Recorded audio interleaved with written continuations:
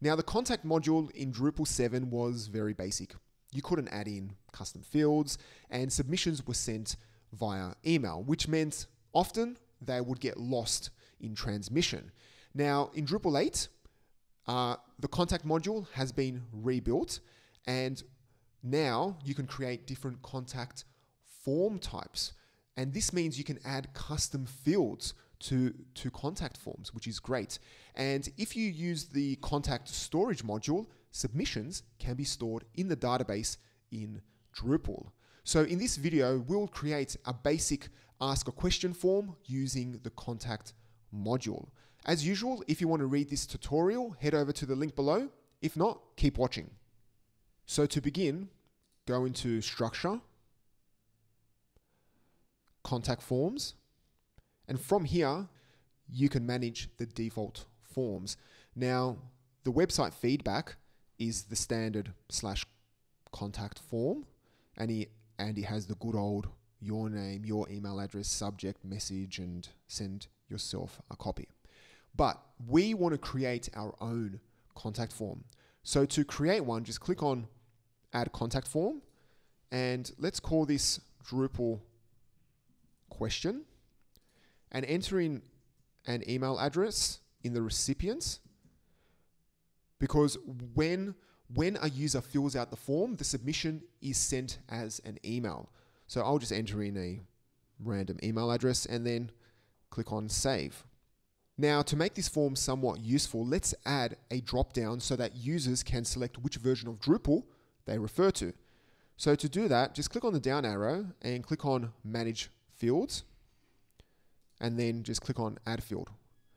From the drop down, select list text under text, and we'll call this Drupal version. And then just click on save and continue. Now here you enter in the available or allowed values for the list. So let's enter in Drupal 8 and Drupal 7. And leave the allowed numbers number of values to 1. We only want to allow a single version of Drupal to be selected and make the field required. Now click on Manage Form Display and let's fix up the actual form. So let's move Drupal version to the top and let's disable subject, not required, and send copy to send copy to sender, not required as well. Okay, so to make this form available to other users, let's now add it to the footer. So to do that, just go into Structure, Menus, and click on Edit menu on the footer row, and click on Add Link. And let's call this Ask a Question.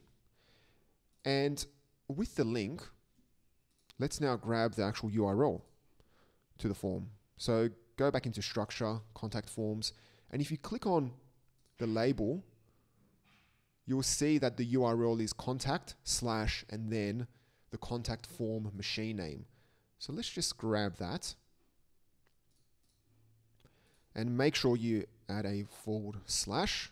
I covered that in the previous video and then just click on save. And let's just make sure everything is saved. Now, if we go to the home page, let's go to the proper home page and scroll all the way down and click on Ask a Question, you'll see that we get our Drupal question, title, and we get our custom field. And also you get then the standard fields, which are added to all contact forms. If you don't want these fields, you can simply remove them from the manage form display.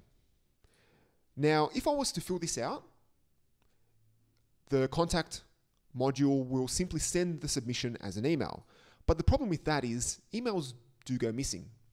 So what I'll, what I'll show you now is how to use the contact storage module. This is a contributed module only for Drupal 8.